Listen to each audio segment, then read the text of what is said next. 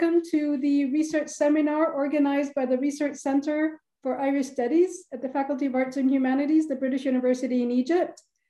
The research seminar for this afternoon uh, is The Letters of John McGahern by Professor Frank Shovlin. Our guest moderator is Dr. Hoda El Hadary. Um, Dr. Hoda is a lecturer and program director of the English Language and Literature Department, Faculty of Arts and Humanities at the British University in Egypt. She's a PhD with first class honours in English language and comparative literature with the Faculty of Arts. She's also a Fulbright alumna. Dr. El Hadary was previously the colloquial leader on the topic of post-colonialism and world literature in the Institute for World Literature at Harvard University. Her main research interests focus on interdisciplinary using different disciplines such as cartography, sociology, anthropology, and cultural studies to examine literary works in an attempt to blur the lines between the different disciplines. She has published two books, Exile and Identity, an interdisciplinary approach in 2014, and Historiography of Partition, the case of the Indian subcontinent and Palestine in 2020, in addition to her publications in different reviewed journals. Um, Dr. Hoda, I will leave the floor to you to introduce Professor Frank Shovlin, and this afternoon's seminar. Thank you so much, Dr. Rania. I would like to welcome uh, Professor Frank Shovlin. Professor Frank Shovlin is a native of the, of the west of Ireland, uh, and he was educated at the University College Galway, where he took his BA and MA degrees before moving on to St. John's College, Oxford, where he completed his uh, doctorate in philosophy. Professor Shovlin's research interests include the Irish Literary Magazine, on which he published a monograph uh, titled The Irish Literary Periodical, 1923 to 1958. The monograph was published in 2003, and also uh, the life and work of James Joyce, on which he, uh, his monograph, Journey Westward, was published by Liverpool University Press in 2012. The history of reading in 20th century Ireland, the history of the book, and the, the work of John McGahern, writer on whose work he published his third book in 2016 titled Touchstones, John McGahern Classical Style. Uh, and of course, his latest publication on the letters of John McGahern. Professor Shovlin has worked uh, at the Institute of Irish Studies, University of Liverpool since 2000, and he teaches a wide range of material on the subject of Irish literature in English from 1700 to the present. He has supervised a number of PhD students on topics such as history of the Bell magazine, Lady Gregory, and others.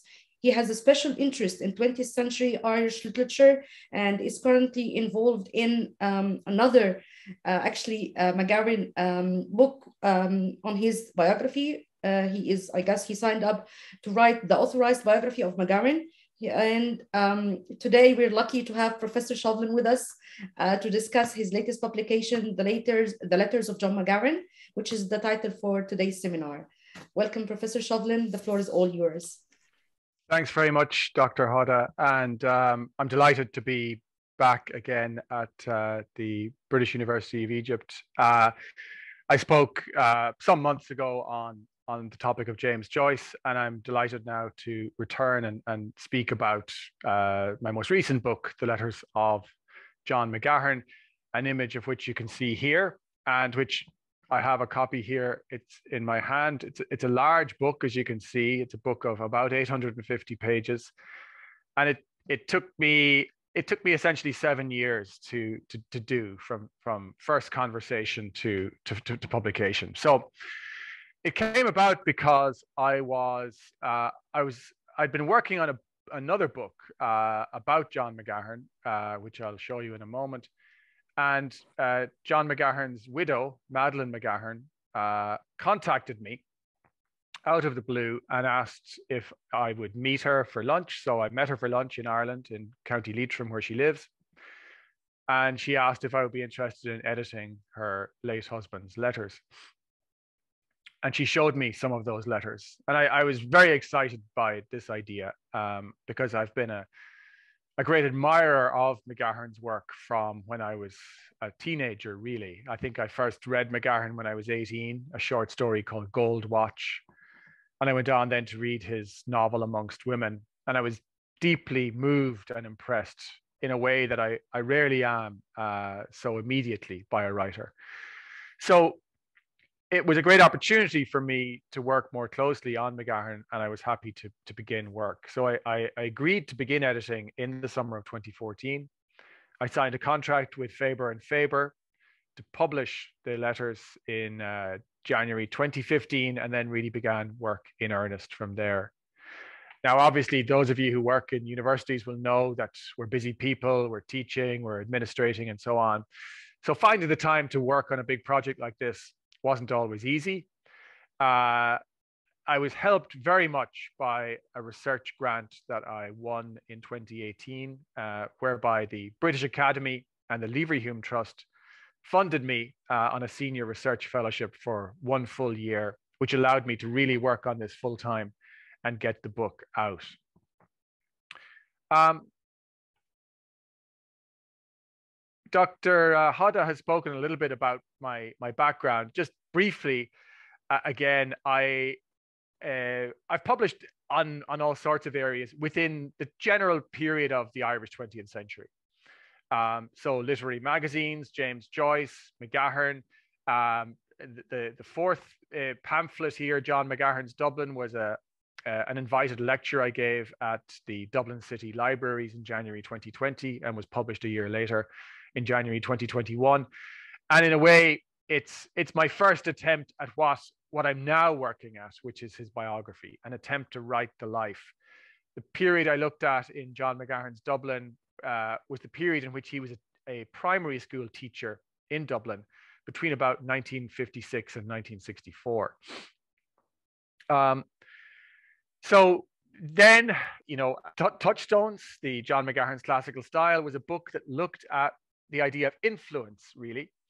And one of the things I'm keen to do in today's seminar is, is hopefully to give some early career researchers some ideas uh, about how they might work on the writer John McGahern.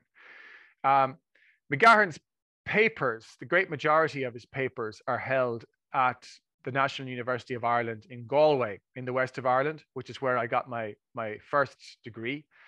Um, and uh, it's a very it's a very large collection of material. It's it's probably about fifty thousand pages of mainly drafts of his work. He was a meticulous drafter and editor of his own work. One of the writers he most admired was uh, the great French 19th century novelist Gustave Flaubert. And he admired Flaubert's uh, idea of the, the, the writer as a, as a laborer almost. Uh, Flaubert describes his own work as atrocious labor in one famous letter. And McGahern was tremendously hard worker and very serious about uh, the uh, vocation of writing. So who was John McGahern? I'm conscious that for some people he may be a new, a new figure. I want to go into some detail about that. He was born in 1934 uh, and he grew up uh, in counties Leitrim and Roscommon in the west of Ireland. Um, his father was a policeman, a, a sergeant. He had fought in the Anglo-Irish War against the British between 1919 and 21 as an IRA guerrilla fighter. And uh, that period of John McGahern's father's life is brilliantly covered in perhaps McGahern's most famous novel, Amongst Women, from 1990, a novel that was shortlisted for the Booker Prize and was made into a, a BBC television series, which you can watch on YouTube actually. Um, so McGahern's father, uh, after the war, was a rather disgruntled, unhappy policeman. Um, he felt that the fighting he had done against the British wasn't somehow worth it, that the country that they had produced, this new independent Ireland, wasn't the Ireland that he wanted. That instead of the British ruling class now we had a new Irish bourgeoisie of doctors and priests and merchants who were ruling the country. And he, he was rather dissatisfied with this. And we see the figure of this dissatisfied uh, ex IRA fighter, policeman coming through in several of McGahern's novels and short stories. Uh, John McGahern's mother was uh, a woman called Susan McManus, um, and she married Frank McGahern, uh, his dad. And she was a primary school teacher and much beloved of John. Uh, the last book that John wrote was uh, a book called Memoir, which is largely about it's an autobiography of his childhood. And in it, he gives a very beautiful description of the love that he had for his mother. His mother was a very devout Catholic whose wish was for her son, John, he was her oldest son, to become a Catholic priest. And that was something that he thought very seriously about as a young, as a young boy, about possibly becoming a priest. But he slowly began to lose his faith and uh, abandoned formal Catholicism in the 1960s. John was the oldest of seven children, and John's mother died when John was just aged nine. It was a very devastating moment in his life. His mother and father had a, a kind of strange domestic arrangement in that his, they lived separately. Uh, so John lived with John and his siblings lived with their mother um, in County Leitrim, where she was teaching. And his father lived about 30 miles away in County Roscommon in the police barracks in a place called Coote Hall in County Roscommon. Um, after his mother's death, John and the family, the children, moved in with their father in the barracks. And his father was a very difficult, um, cantankerous, violent man. And the, the figure of that, that difficult childhood, that idea of that difficult childhood, appears right across McGahern's work. I think probably the day that his mother died is, is the most important day of his life. I think it it uh, affects everything that happens to him afterwards. The picture on the left here is of John in um, an apartment in Paris in 1969. This apartment belonged to Madeline, a woman called Madeline Green, an American woman who he had first met in New York in 1966 when he was promoting his second novel, The Dark, and uh, who they met again in London in, in autumn of 1967, and they became lovers and later uh, husband and wife from 1973 onwards. John had already been married uh, to a Finnish theatre director named Annikki Laaksi in a rather unsuccessful, uh, brief, and unhappy marriage between 1964 um, and they formally divorced, I think, in 1971. But the marriage was essentially over by, I would say, about 67, 68. Um, so here we have him in Paris in 69 in this apartment that belonged to Madeline Green, who was an American. She was from New York. And Madeline is still alive. And I work very closely with her on all of my McGahern projects, and it was she that asked me to edit the letters. She's 87 and healthy and has a wonderful memory, which has been tremendously useful to me as a researcher. The picture on the right is, is John much later. Um, he dies in 2006 uh, of cancer. Uh, he lives most of his life after the mid 1970s in uh, a small, a very small rural house in County Leitrim. Um, not easy to find uh, between the villages of Mohill and Ballinamore, uh, along a little side road and overlooking a lake. His last novel, which is called That They May Face the Rising Sun, which was published in 2002, paints a vivid and brilliant picture of the life that he lived in that cottage and of his neighbors and of country life and of the changing of the seasons, the natural world, and it's it's it's of those sorts of descriptions that he's perhaps most famous for. He had a very successful writing life. Um, his first novel, The Barracks, which I'll come back to in a moment, was published in 1963.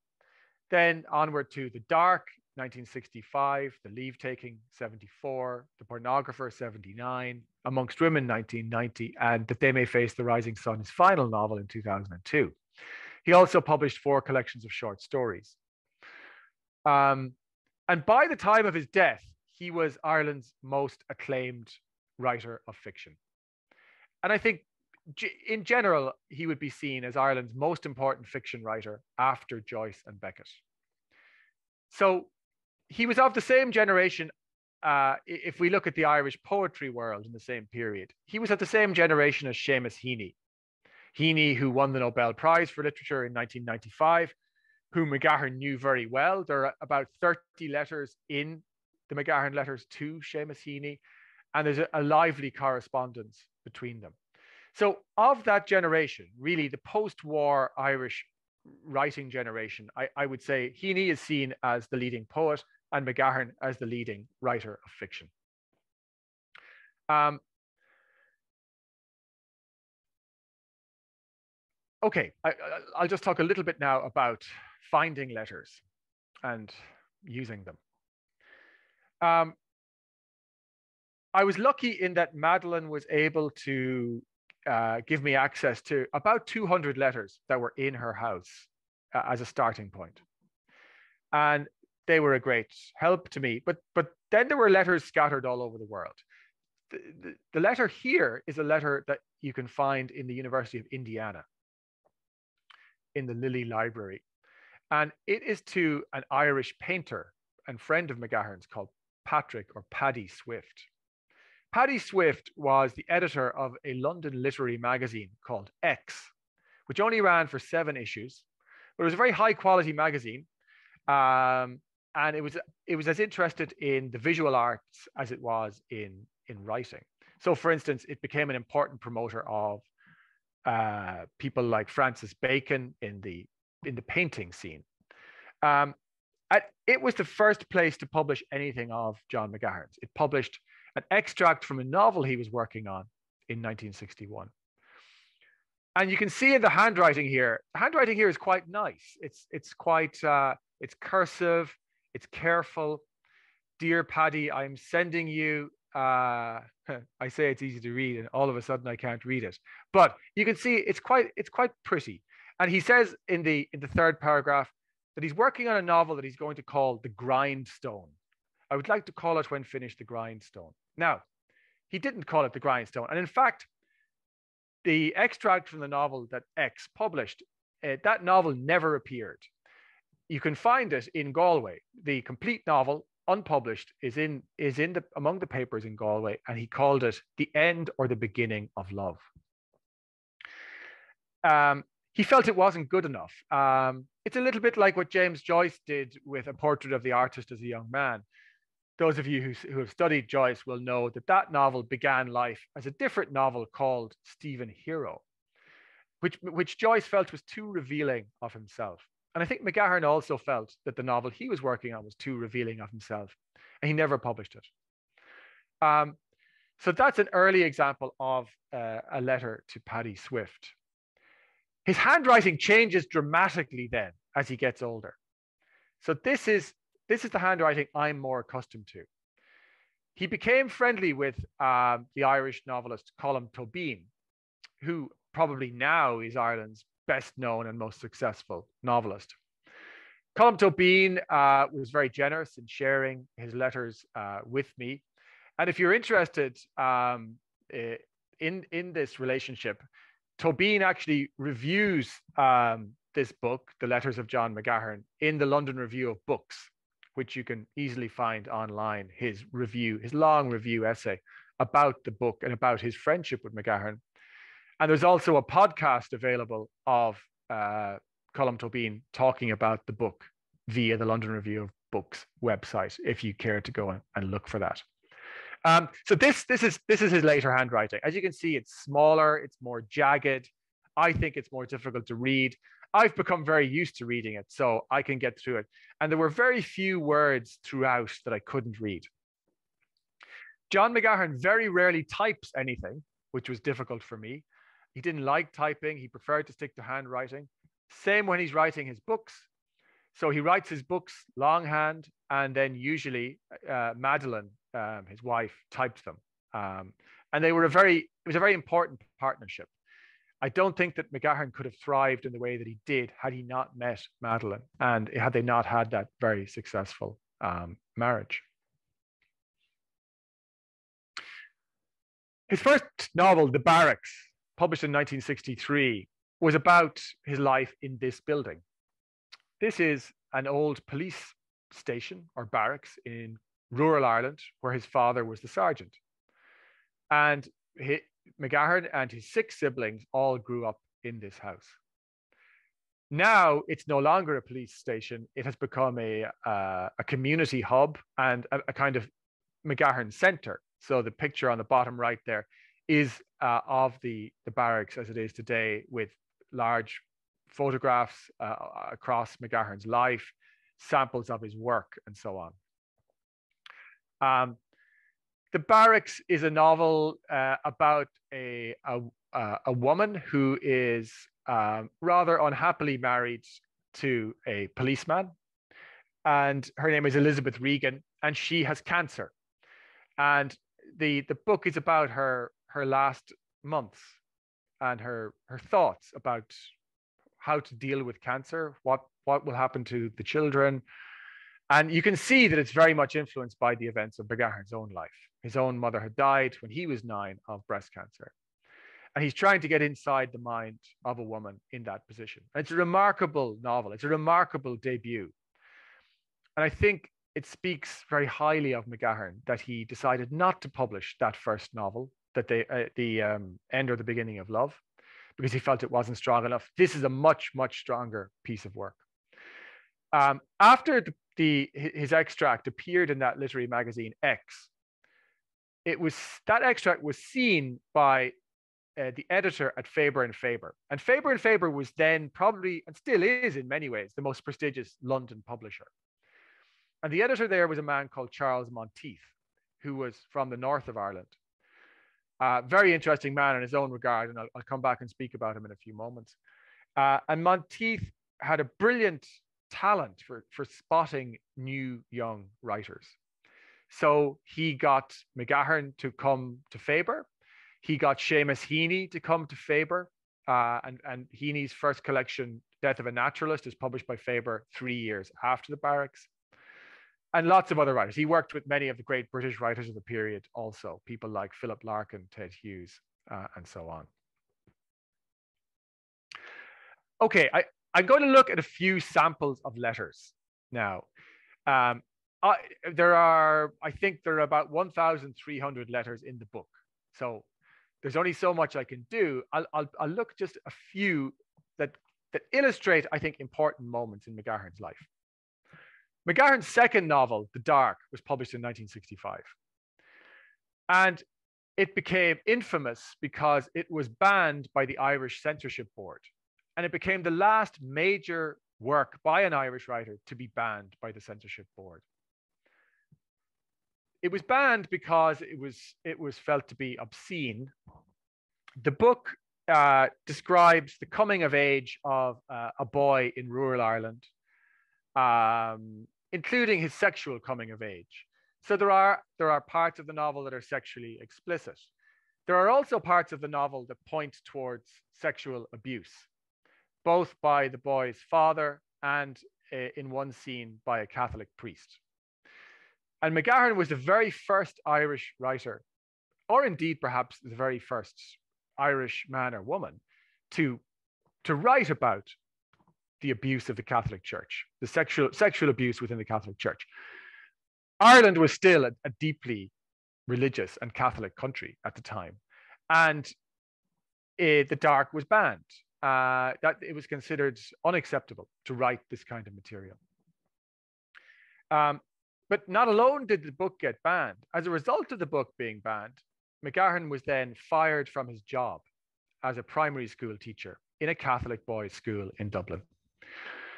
And he left the country uh, and went and lived in London and Paris and the United States for a period. Uh, he didn't return to live in Ireland uh, until late 1970 for a while.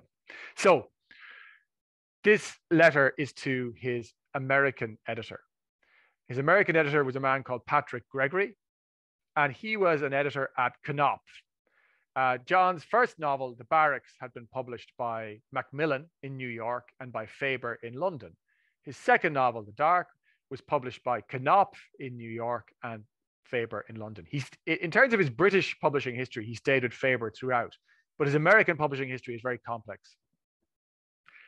Um, he had offered the dark to Macmillan in New York, but they had rejected it. They thought it was, they said it was, it made the skin creep, that it was completely unpublishable. There was no way they would risk publishing it. So he gets a publisher with Knopf, who are a good publisher, you know, big, powerful New York publisher. And so Patrick Gregory, he's writing to him here, telling him about what happened about losing his job. Dear Patrick, it's a long and mostly boring story. I'll try to shorten it. The 8th of May, telegram to phone them. Them is the school authorities, that the school that he was working in. It was to tell me not to come. I didn't telephone and presented myself for work. They were very afraid, the teachers. The headmaster read me a note that I was suspended until the priest interviewed me. Uh, pre- priests were the, the, the, the controllers of these Catholic schools. Um, this would have to be after the 6th of November, end of his holidays. I then saw the union. They were willing to fight sacking on the grounds of dark, but not on a civil marriage. I do not think I could go through the farce of a ceremony. Cage Anu here. Just so, to explain a bit, Anu is his Finnish wife, who he had married in a registry office in Helsinki in November 1964. So the Catholic Church did not recognize that marriage. Uh, they would only recognize a marriage that took place in a Catholic church. So, as far as they were concerned, he was living, as, as the church would say, in sin with this Finnish woman. As well as that, he had published this obscene book. So they were out to get him on two counts. I do not think I could go through the farce of a ceremony. Cage Anu here, bow my head, work humbly for them, and live with myself, and work with myself. Anu doesn't want to go through with it either, and she doesn't want to live in Dublin, which I want. But it seems impossible. It seems it must be the woman's land of London. So I meet Anu in London tomorrow. We'll decide over the days what to do, I'll then go to see the priest after November the 6th and probably get sacked. Nothing now can affect my work. It grows only more clear. This journey into my changing self in search of style. But physically and financially, it cannot be as easy in London as it was, but that only lies down beside the first. So I, I think it's interesting in that final paragraph that he has this inner strength that he knows my writing is going to continue. I, I, I, this is this is a this has been a, a crisis in my life. I've lost my job. I'm leaving the country. But he says that his work grows only more clear. And I think he always had that inner strength throughout his life, and you see it coming through in lots of the letters. One of my favorite letters in the book and uh, is to his sister Dymphna. And I think his, the letters to Dymphna are amongst the very best because they're amongst the most open. This is a photograph of John and his family. His father, the policeman, Frank, is standing behind there. And I think this must be the day of the first Holy Communion of his twin sisters, Rosaleen and Breege, in their communion outfits. And you can see they're all in a position of prayer. John, John is standing on the right there. And then in front of him is his little brother, Frankie. And Dymphna is the little girl on uh, standing at the front on the left. She was his youngest sister. And he writes a number of these very beautiful letters to his younger sister in the late 50s and early 60s. She's still living at home in this rather difficult household with this tyrannical father. And he's trying to help her. He's trying to give her advice about how to live and what, what mistakes to avoid and so on. So, this is an example of one of these letters. You should try to come to terms with the people about you and with your work. If you can't endure them, find devices to avoid them or to see as little of them as possible, or to get clear of them altogether. If you dislike your work, set about getting another kind of work. To do any of these things, you'll have to discipline yourself and work. Work is a word that he uses a lot. Work, that work is a kind of salvation. Working hard, working purposefully, you know, being careful with the writing, and that's he saw himself as a worker, I think, and and uh, and and that's that's his that's his position on the writer's art. There is no such thing in life as freedom, only the freedom to choose, and that not always. And our choices impose their own tyrannies on us. But only a person who fails, who gives everything up as hopeless, can become wooden. Now he's going to refer to uh, the the 19th century English writer Charles Lamb, who was famous for his essays. And one of Lamb's essays is um, called The Superannuated Man. It's about retirement, it's about office work, the drudgery of office work, and the freedom of retirement.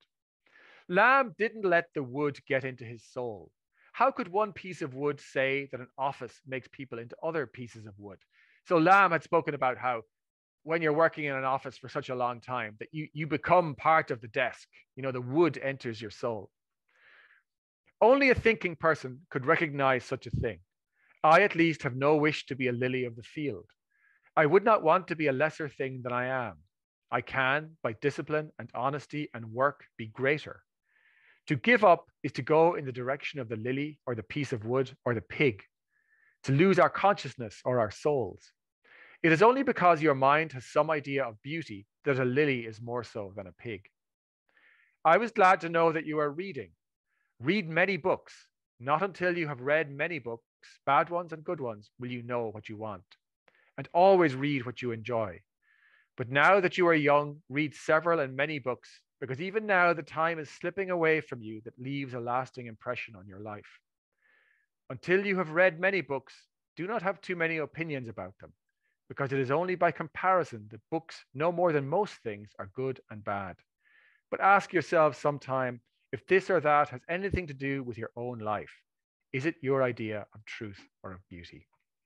And John McGahern was a, a great reader.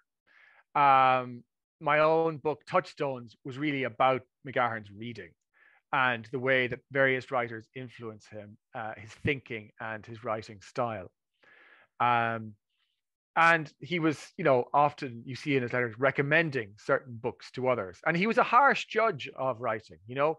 He the writers there were certain writers he admired unstintingly. So people like for instance uh, chekhov uh, he loved his short stories or the early james joyce especially dubliners. Wb yeats almost completely he, he absorbed all of. So he was a great a great reader. And so he was encouraging Dymphna here to do the same thing now, I mentioned Charles Monteith. Um, sorry for the quality of this photograph, but Charles Monteith is the very tall man on the left here. The man on the far right is the English novelist William Golding. And this is the day on which Golding is awarded the Nobel Prize for Literature, which I think is 1983. Golding's most famous book is Lord of the Flies, but he wrote several other wonderful novels. And Monteith was responsible essentially for finding Golding. He was another one of his discoveries. And Monteith had this wonderful talent for finding new writers. So this is John McGahern's very first letter to Monteith. His extract from the novel had appeared in the literary magazine X. Monteith had read it and written to him a short note saying, you know, what can I see some more of your work? Now, I was very, uh, I was helped enormously by the fact that the Faber archives in London are extremely well maintained. And I was given complete access to them. And they so they had all the copies of McGahern's letters to Monteith and all the copies of Monteith back to McGahern. So that allowed me to watch that conversation and friendship grow. So here's John's very first letter to him. And you can imagine how exciting it must have been for this young Irishman to get a letter out of the blue from the most powerful editor in the most prestigious publishing house in London. Thank you for your letter of the 14th of March concerning the extracts that appeared in X. It is the first novel that was actually accepted for publication, but by then I could not in conscience publish it without serious revision. The pieces in X are part of the revision. In the revising, another novel evolved which owed nothing to the first, and that's the novel that's becoming The Barracks. I felt I must leave the revision aside for a time and finish and try to publish this new work. The publishers do not seem to like this delaying, and I'm not happy with the position. I sent the first part of this new work to the editors of X, who have just written to say that they consider it a real advance and exciting. Whether this opening, 13,000 words or so, would be too slight for you to make me an offer or not, I do not know. If you consider it possible, I could let you see a copy, I hope this does not seem all confusion. I am not bound by any contract or agreement. Naturally, the idea of you publishing me is enormously attractive. as it would be, of course. I mean, another reason it was very attractive is that one of the writers that John most admired was then still on the board of directors at Faber, and that was the great poet T.S. Eliot. Um, moving on then, um, this is another letter that I'm very fond of uh, that I think reveals the true nature of McGahern's character. He became friendly with another Irish writer, an older man called Michael McLaverty from Belfast. He admired several of McLaverty's novels, and he starts writing to him in the late 1950s, and they enter into a very interesting correspondence. Again, I was lucky in that that correspondence is, is maintained in full in a library in Belfast, the Linen Hall Library, and kept there very well. It was a very enjoyable place to work. Um, here he's talking about a prize. He, he wins a prize for, for a part of the barracks in 1962. And it's quite a prestigious prize. It's the most prestigious Irish literary prize of the time. It's called the A.E. Prize. A.E. was an Irish poet of the early 20th century, also known as George Russell. And he's talking here about the excitement of winning the prize, but then the sudden realization that that excitement is somehow misplaced, that the work must continue. And I think this really, of all the letters, I think this catches McGahern most uh, precisely. For a little while, the morning it came, I was excited as a schoolboy with the award. And then afterwards, there was the blank, inscrutable face of my work that knows nothing of awards or rewards, but only faith and passion and suffering, and the long availability which we call work will move.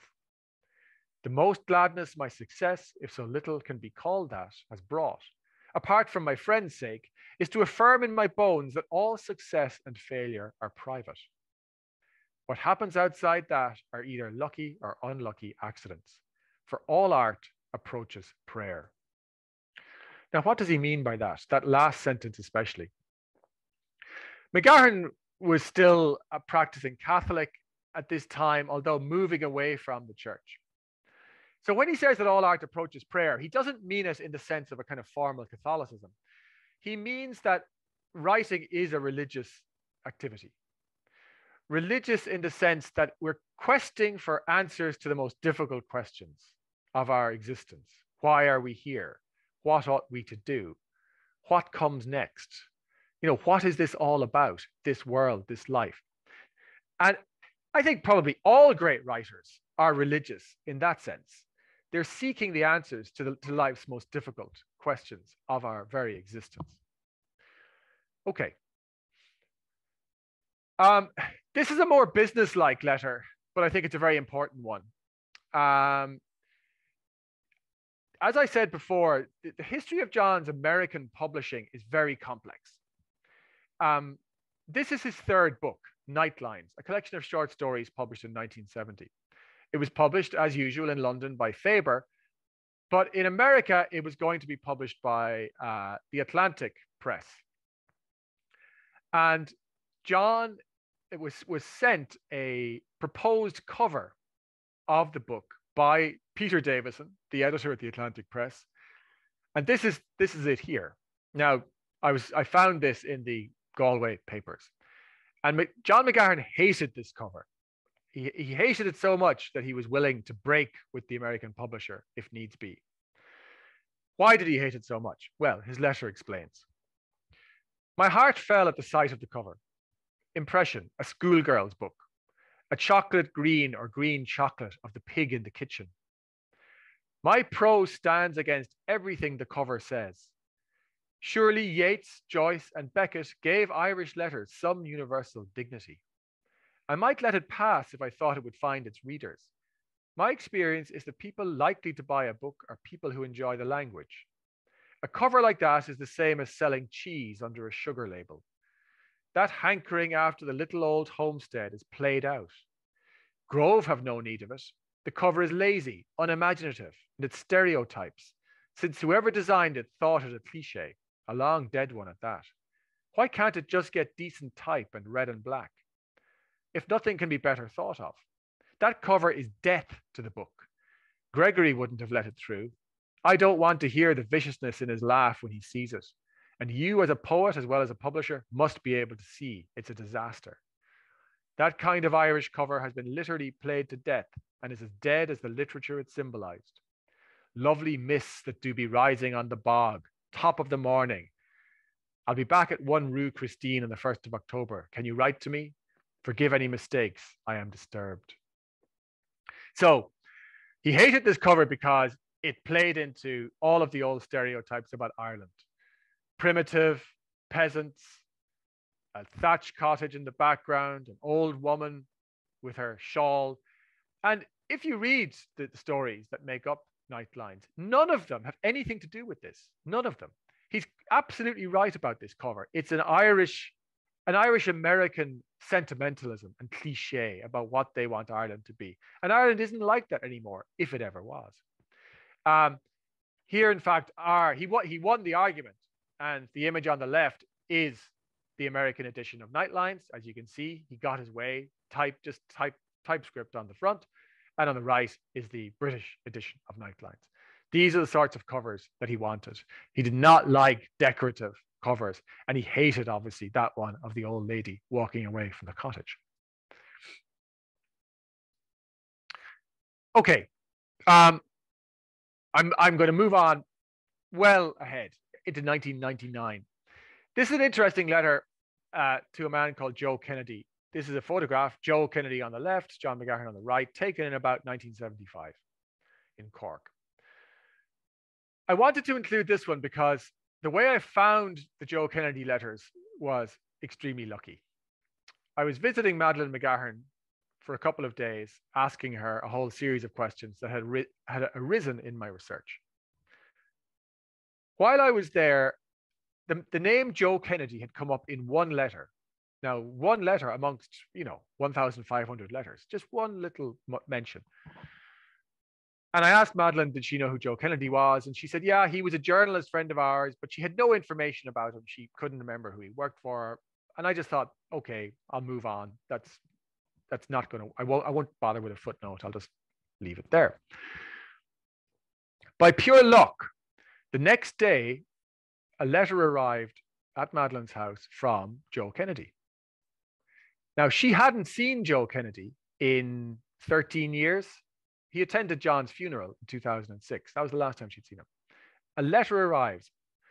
Uh, so I now have an address for Joe Kennedy. So I wrote to Joe Kennedy and we arranged to meet in a hotel in Dublin.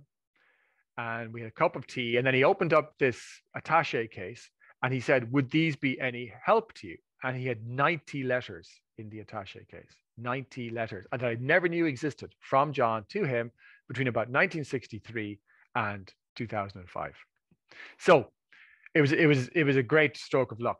This is one of the more interesting letters to joe kennedy. Joe had sent him um, an extract from a book in which the irish short story writer frank o'connor is writing to the editor at the new yorker his friend william maxwell. And he's he's talking about this prize that McGahern won, the AE prize. So, and he's rather dismissive of McGahern. So Joe Kennedy sends this to John. He says, Can you remember any of this? What was this about? And here's the letter. The literary stuff doesn't matter. Literary reputations last as long as the body of work they represent remains useful, whether to one reader or to many, and will disappear into the long night like ourselves eventually. What matters is the spirit to which they give utterance. Like many things that come my way, I was once part of, uh, the enclosure is both accurate and inaccurate. I attended that party in O'Connor's flat. This is Frank O'Connor. I went reluctantly. Elizabeth Cullinan, Betty, needed an escort. She was uh, an Irish American writer that he was friendly with and who had worked for the New Yorker also. I wasn't even her boyfriend. She was in the middle of a bad love affair. It was the one time I met Frank O'Connor, and he remained in bed throughout my stay, which wasn't long. The prize was the AE Memorial. The barracks wasn't published then. The Englishman was almost certainly Philip Edwards, professor of English at Trinity. Thomas Kinsella was expected to win the AE. He was an Irish poet uh, who died quite recently, actually. I had no hope and only entered at Charles Monteith's insistence. Faber offered to pay the expenses if I lost. Typing five or six copies of an unfinished novel, having it typed, was expensive then. It absorbed most of the £100 prize. The edge to O'Connor's remark was due, I imagine, to a TV interview I gave on winning the prize. I was asked, What do you think of O'Connor and O'Faolain? Now, O'Connor and O'Faolain would have been the two big Irish writers of the time. It was like asking a young writer now, What do you think of Heaney and Friel? I replied blithely, I don't think about them at all, thinking with a young person's conceit that I had adroitly avoided the question.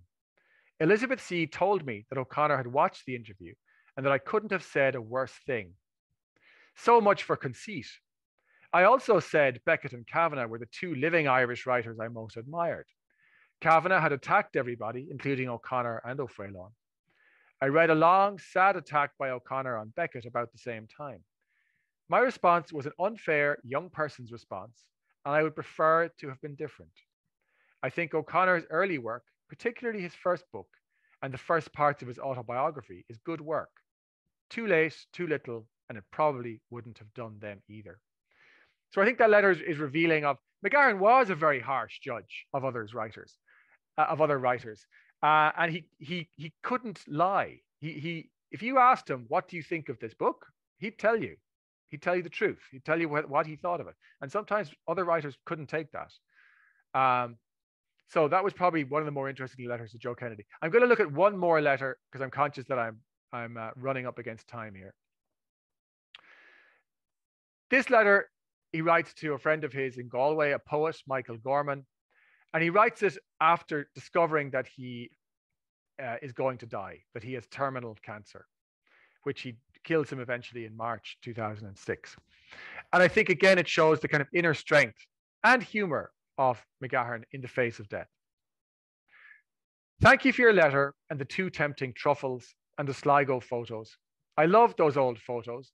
They look at you out of a depth of time but there was no dear Paddy Morahan. This was a, an old friend of John's. He would be with Sligo Rovers, and the old band seems to be in operation. There's not too much difference here, other than the adjustment to a different reality, a reality we always knew was there and unavoidable, but is still different when it comes. I used to have ways of avoiding going to the room to write, disliking the intensity and total absorption. But now I'm glad of it. It belongs more to now than when we felt free in acres of time, and that too was necessary and is. I find I have to be socially more careful. All society excludes this knowledge in order to, to function. There was a do for an old friend of mine, Alf Rowley, a barman in Mohill, two years ago. He was dying, and the function was to help pay bills. He lived less than a week afterwards. He had a fine singing voice, and at the end, before the soldier's song, he rose and thanked them and then sang, I bid you all a fond goodbye. There wasn't a stampede for the door, but it was the next best thing. And mutterings about the poor man not being in his right mind, the Leitrim way of describing a lack of tact. So McGahern faced death stoically. Um, in fact, he, he actually wrote a great deal in those final years. He wrote his autobiography, memoir, which looks mainly at his childhood uh, and doesn't doesn't tell us very much about his writing life. Hopefully, the book that I'm now working on, his biography, will expand on all of that and tell us a great deal more. Uh, just to conclude, um, the book was received very well when it was published, and it's it's got great reviews. I'm I'm happy to say, both in Ireland and amongst the British, you know, newspapers like the London Review of Books and the Times Literary Supplement. Um, it very briefly, as you can see on the left, went into the top 10 hardback nonfiction books in Ireland, which is it. I'm delighted about that because, you know, this is not, as I've said before, a book that you read by the swimming pool. You know, it's uh, for a book like this to sell in the thousands is great. And it, it's a very, it's been a very different sort of experience for me. You know, the books I've published in the past have been with university presses like Oxford and Liverpool and you know they're a smaller run and it's a smaller audience and so on because of mcgahern's popularity in ireland and he's still very much revered in ireland this book sold well it got reviewed everywhere uh, i've had many invitations to come and speak uh, like today both in ireland and britain and uh, i've got events coming up in in in paris and in, and in belgium and the united states um, and i hope that it opens mcgahern up to a new audience as as in this case i hope with your audience in Egypt that that you know, that people start to read McGahern perhaps who didn't have an opportunity before. Because I think, I think if you want to understand Irish life post-war, post 1950, McGahern gives a fantastic insight to how life operated and the way life was changing from a very conservative Catholic dominated country into a more liberal, uh, open um, uh, world. Um, and McGahern suffered in those years of change. He, he, got, he got banned, he got fired. And he's a, he's a very important figure, I think, in the emergence of a modern, liberal, secular Ireland that we have today. So I will leave it there and um, I'm happy to answer any questions if you have them. Thank you, Professor Frank. This is this was very illuminating, actually. And please, anyone, if you have any questions, would you please uh, ask them or share them to the chat box?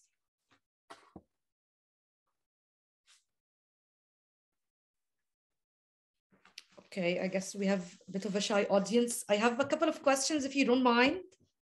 Mm -hmm. Of course. first question is about editorship and committing to this kind of work. I mean, this, of course, wasn't an easy task by all means, going through all the letters, categorizing them, and seeing like the common link between them. So if you can comment on this and the difficulties you faced, if any.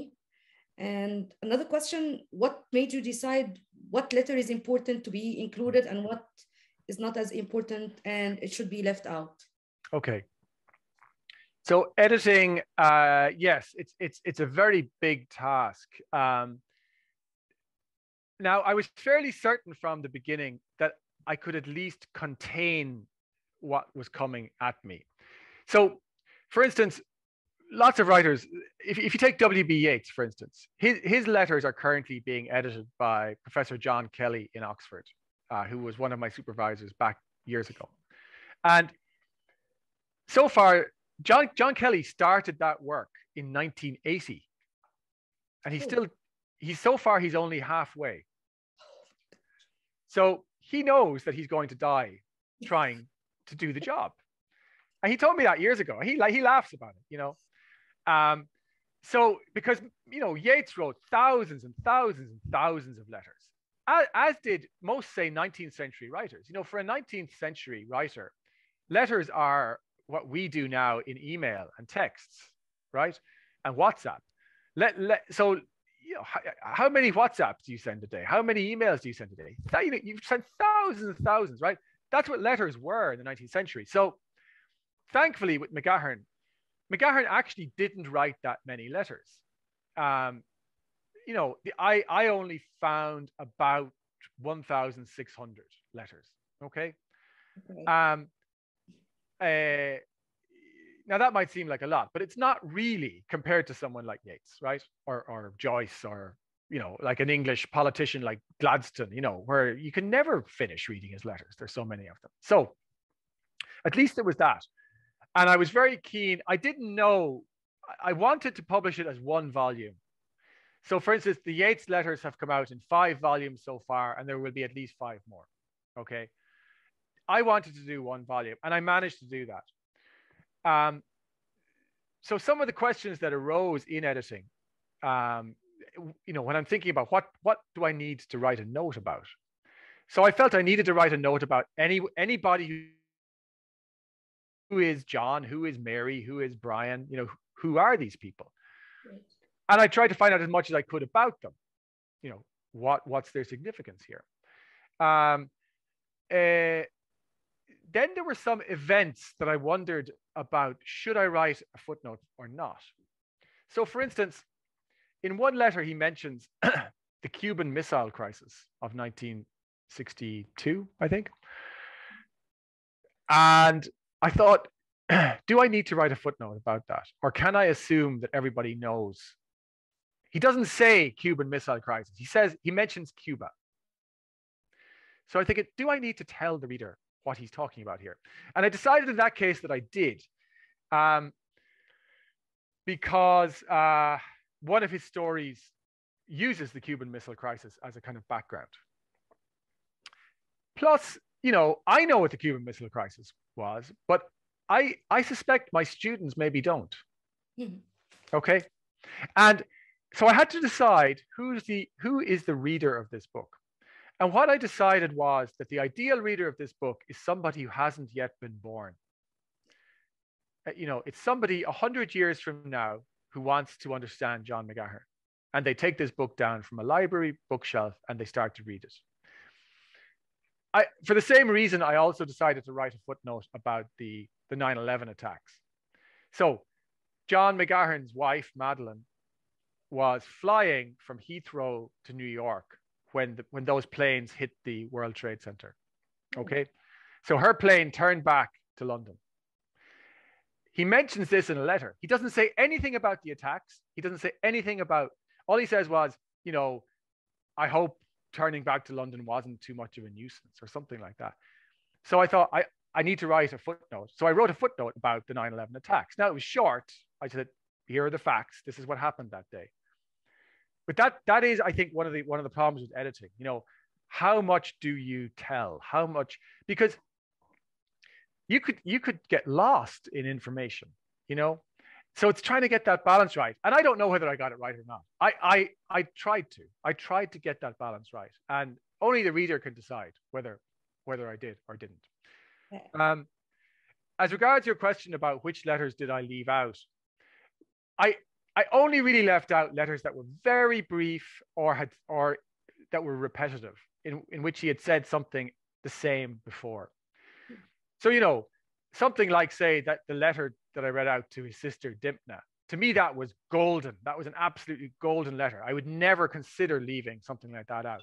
What I might consider leaving out is a short letter where he's writing to one of his American publishers about uh, royalties, say, or you know, uh, it, it, it, that actually wasn't a difficult decision for me to make. Um, those those short kind of business like letters, some of, many of which are in the book because I anything that added a new piece of information I put in, but if it was repetitive, I left it out.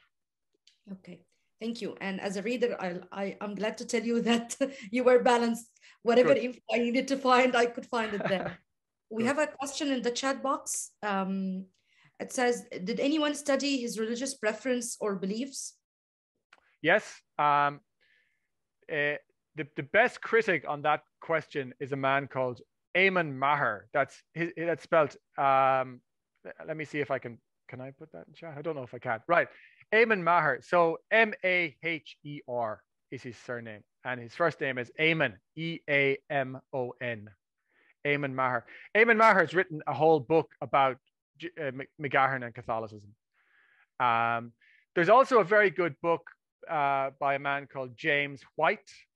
That's W H Y T E, which looks a lot at Joyce's interest in the the uh, the psychologist and psychoanalyst Carl Jung, hmm. and and and and McGahern was interested in Jung, and and that's also you know in in, in the broad sense religious.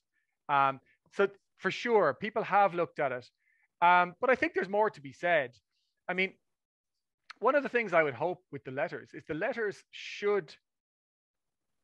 It, was funny. Someone said to me after after the letters were published, they said, "Oh, you know, are you going to are you, go, are you going to write a new book now based on your discoveries in the letters?" And I said, "No way. I'm I'm I'm done with the letters. You know, that's for somebody else to do.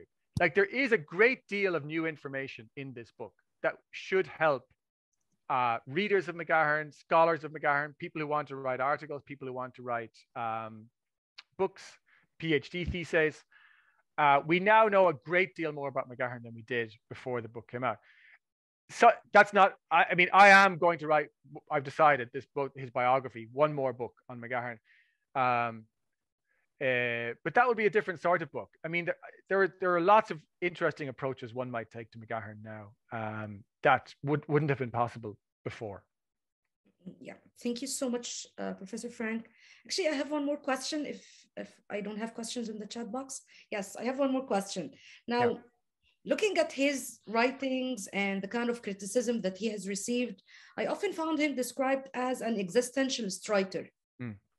Was this mirrored in any way in his letters, especially the ones to his friends and to his family members? Uh, no. Now, first of all, I, I agree that he is uh, at times an existentialist writer, and I think he's he's particularly influenced by the great French existentialist Albert Camus. Mm. And Camus' The Myth of Sisyphus, uh, I think, is a book that is on his mind quite a lot, uh, especially in the barracks. Um, uh, but but he doesn't he he doesn't give away anything about existentialism. He doesn't mention it even once in the letters. Um, nor, in fact, does he mention Camus even once in the letters. He's, you know, McGahern was a was a very secretive man, and uh, the letters are very revealing, but there are still large aspects of him that he just he doesn't reveal. Hmm. And I don't think he ever revealed to anybody, even in speech. He he was uh I think about that the, that the great opening to James Joyce's essay, um, "The Day of the Rabblement," one of his his very first essay, actually from 1901. He says, "No man can be a lover of the true or the good unless he abhors the multitude." Hmm. He, he says the writer must be alone. The writer must be a, so, a solitary figure. Now, I think McGahern believed that very strongly. That uh, you know he went and lived in this very rural place. Um, he would spend long months there with just Madeline. He could be sociable, and everyone tells me that. And I, I met him myself, and I found him a very nice, sociable man. But ultimately, he had this kind of, I think, steel in his soul. Um, a, a kind of melancholy that was there from his childhood. Um, and he had to work alone. And so he's very private, very, very private. And, you know, lots of people in their reaction to these letters have said to me, you know, I can't believe these exist. You know, I can't, I would have thought he, you know, he would have destroyed everything or, and, and to some degree, I think that's true. But I was, I was very pleased with how much I was able to find out that we didn't know before the private side of him. But but no, he doesn't. He doesn't. He does talk about other writers and his admiration for other writers, but at no point does he talk about existentialism. But I've no doubt that it's there. I think he is. I think existentialism is an important part of his imaginative makeup. Okay, thank you so much we actually have one question in the chat box. Do you have an electronic copy of the book of letters we're talking about? Is it available for study? I guess it's available as a I, I, I think it must be available as an ebook because I, I, I was looking in our library, our university library here recently, and they have they have it as an ebook as well as hard copy. So it must be available as an ebook. Okay, thank you. Actually, if you don't mind, I have uh, other two, like two couple sure. of questions a couple of questions and I'm going to stop talking. Yeah. Okay. Um, there's this kind of recurrent idea of a serious writer versus someone who is not serious. Mm. And as you mentioned more than once, that he was a harsh critic or a harsh judge of other writers. Now, would this be attributed to him being a writer or a good reader, like in his letters to his sisters, for example, uh, to his sister, he often talked about the kind of quality of books that she's reading, mm. and she has to read as many as she can, and yeah. then the comparison between good and bad could could be there. So if you can just comment on that. He has a very interesting essay called "The Solitary Reader." Okay. And it's in a book. Uh, a book of his essays was published after his death. I think it was published in 2009, and it's called "Love of the World." Okay. And there's an essay in there called The Solitary Reader, where he talks about reading as an occupation. And he talks about a moment in everyone's life where we begin reading as children, and what we're interested in is the story. We're interested in, you know, fairy tales and, you know, whether the wolf eats the girl or stories, the, the plot. Then he says, a, a, certain point comes in in our life where if we're to become serious readers we have to in a way forget about the story and think about the style okay. that it's that it's the quality of the writing um, that makes serious writing hmm. um, mm.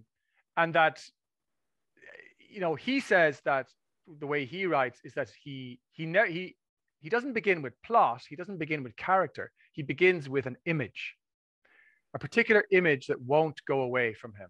And he has to write about that image and start to expand upon a, that particular image.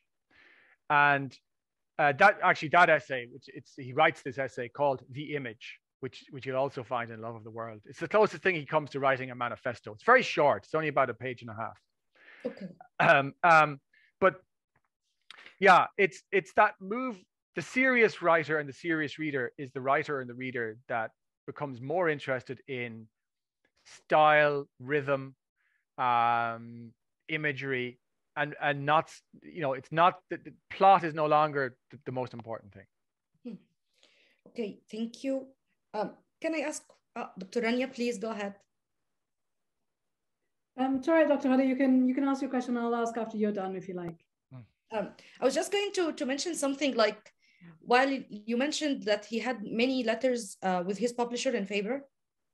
Did this inform us in a way about the writing process that he used to go through before writing his books and so on, like deleting or adding or omitting? Did he care about, or did he always have the audience in mind or the publishing industry and so on?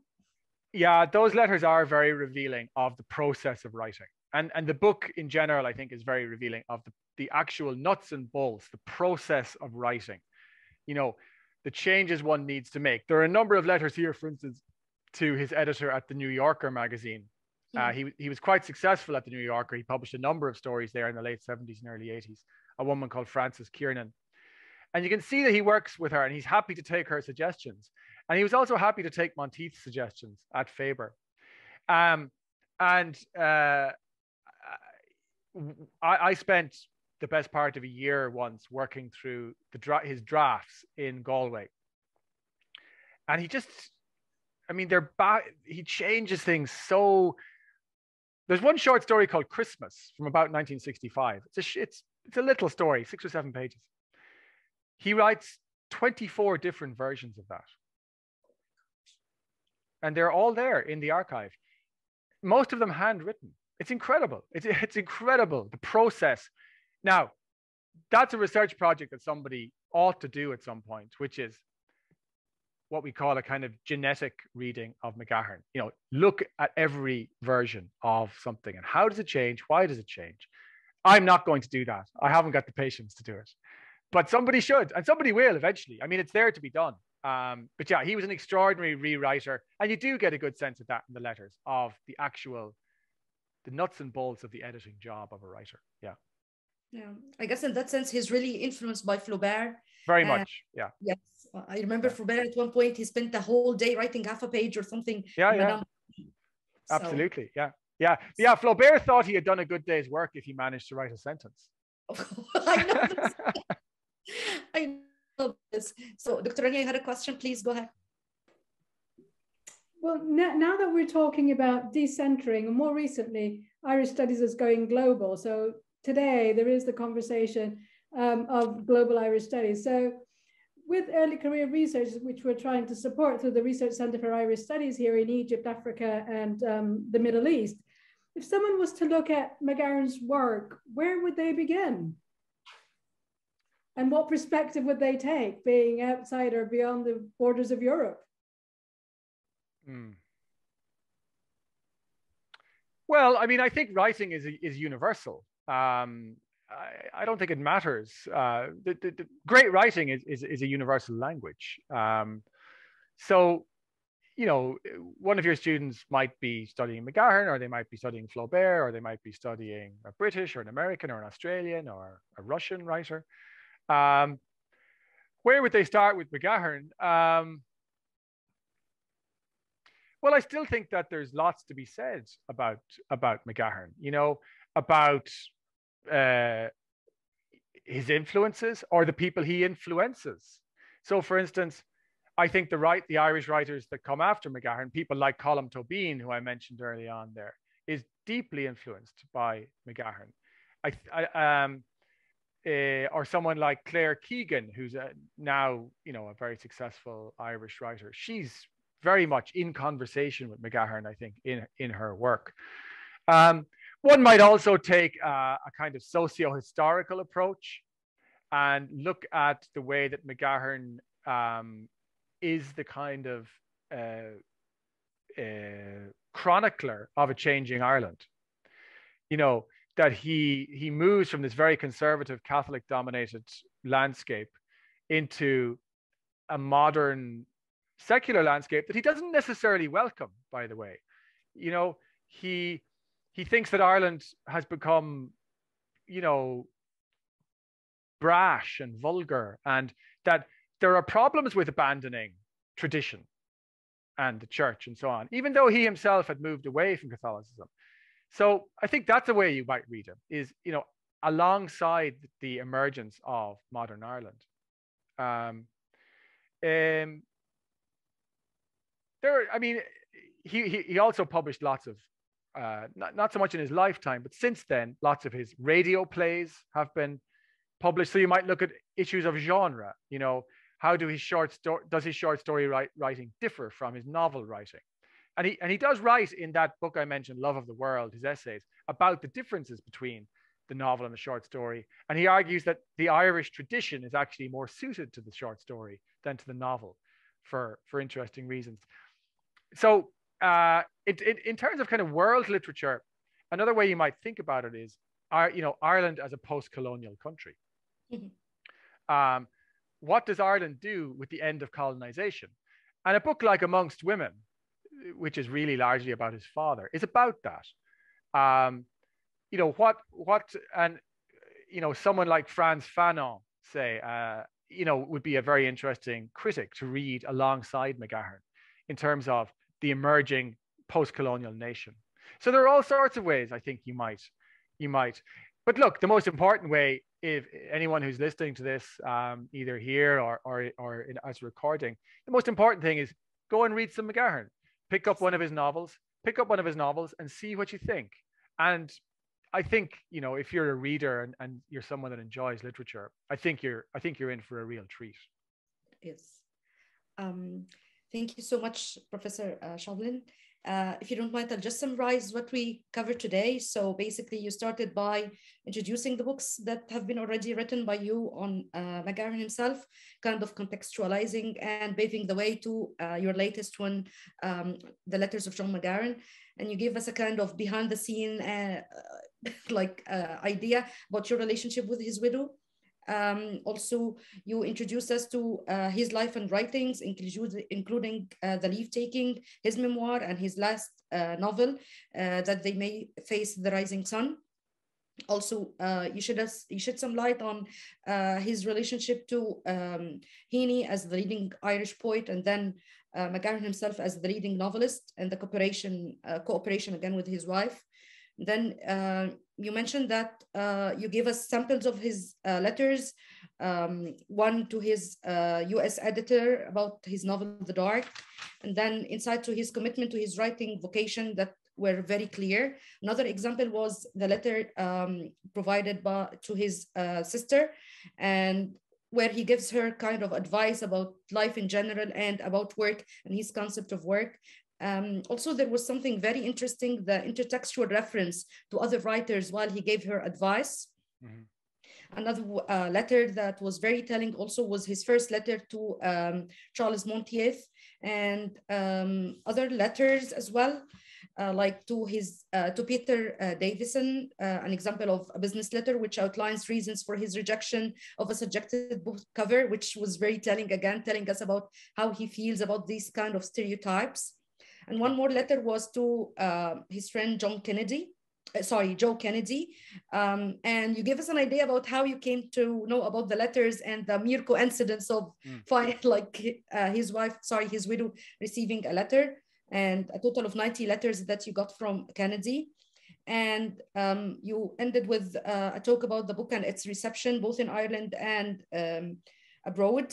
And you were generous enough to answer our questions, our never ending questions. And you ended up with suggestions for venues of research. Uh, one of them is his influence uh, on other writers, the socio-historical approach, looking at him as a chronicle, uh, chronicler of uh, Ireland. And another thing was to look at Ireland as a post-colonial country and your um, actually valid suggestion of reading him alongside uh, Frantz Fanon and his books on post-colonialism. And um, Thank you so much. And thank you, Dr. Rania, for giving me the opportunity to, to meet Professor Shovlin and uh, to be with you today. You're very welcome. Yeah. Thanks, thanks very much for inviting me. And uh, I'm delighted to, to, to, to be able to be part of your of your research seminar series. And uh, good luck with uh, the rest of your term. Well, thank you very much. I'd also like to thank um, our um, our guests this afternoon. We have um, academic staff uh, from Ain Shams University, Dr. Ines Ibrashi. We have Dr. Omneya Al Umus um, from the British University in Egypt, and we have Dr. Mervat Shukri. Uh, thank you. Our head of department. And we also have Dr. May Bailey, and we also have Dr. Sarah Higazi um, from different, um, from the British University, as well as um, state um, universities across, across Egypt. Um, Professor Frank Shovlin, it's been an honor. Um, today's topic was quite insightful. It is a new topic for us um, in this um, part of the world. Um, and it's your, your detailed uh, discussion this afternoon was insightful. And Dr. Hoda El Hadary as a moderator, um, and thank you very much. Your questions also helped open channels of discussion for our early career researchers uh, in Egypt, Africa, and the Middle East. Thank you, everyone, and we look forward to seeing you in future seminars with our best compliments from the Research Center for Irish Studies, Faculty of Arts and Humanities at the British University in Egypt.